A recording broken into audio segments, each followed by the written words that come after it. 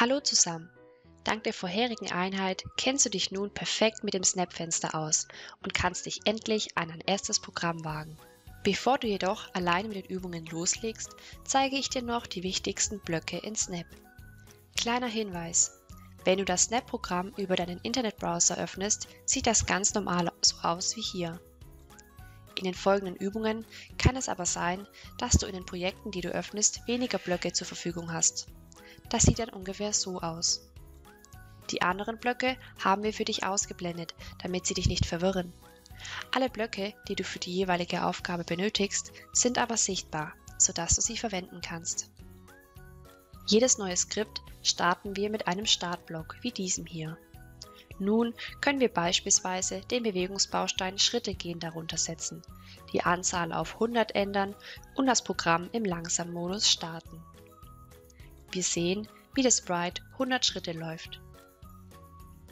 Um ihn wieder in die Mitte der Bühne zu bringen, brauchen wir diesen Block. Bauen wir noch ein paar mehr Bewegungsblöcke an und starten das Programm wieder, setzt der Sprite alle Anweisungen chronologisch um. Da wir ihn dieses Mal auch gedreht haben, müssen wir ihn nicht nur wieder in die Mitte des Fensters zurückbringen, sondern auch wieder in die Ausgangsposition drehen. Dies kannst du mit diesem Block tun. Um nun ein Kunstwerk zu zeichnen, benötigen wir selbstverständlich auch die Stiftblöcke. Setzen wir beispielsweise den Stift runter Block an den Anfang und starten das Programm, so zieht unser Sprite eine Malspur hinter sich her. Um diese wegzuwischen, benutzen wir einfach den Wischeblock.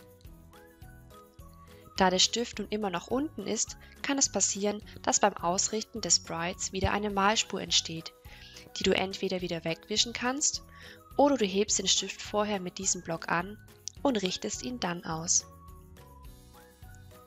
Es gibt noch vielerlei weitere Möglichkeiten, wie zum Beispiel Stiftfarbe festlegen.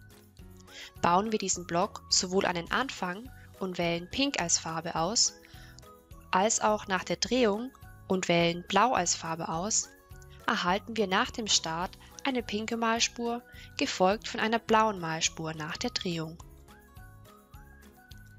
Probier einfach mal ein bisschen herum, was du noch so alles einstellen kannst, zum Beispiel die Stiftdicke, und starte dann mit den Übungen.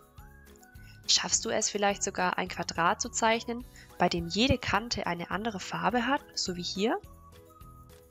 Viel Spaß beim Ausprobieren!